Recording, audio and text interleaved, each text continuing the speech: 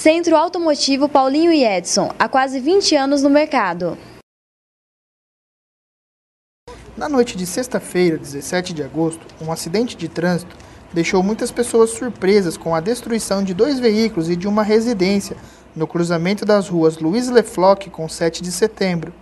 O motorista de um Corsa com placas de Cosmópolis descia a rua 7 de setembro no sentido centro, quando no cruzamento com a rua Luiz Lefloc foi atingido por um veículo Logan com placas de Campo Grande, Mato Grosso do Sul, conduzido por um técnico de automação.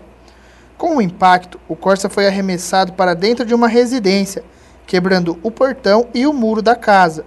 Já o Renault Logan rodou com a batida e ficou parado de ré com as rodas traseiras em cima da calçada. Apesar do grande susto, ninguém ficou ferido. Os veículos foram guinchados, pois não apresentavam condições para rodar.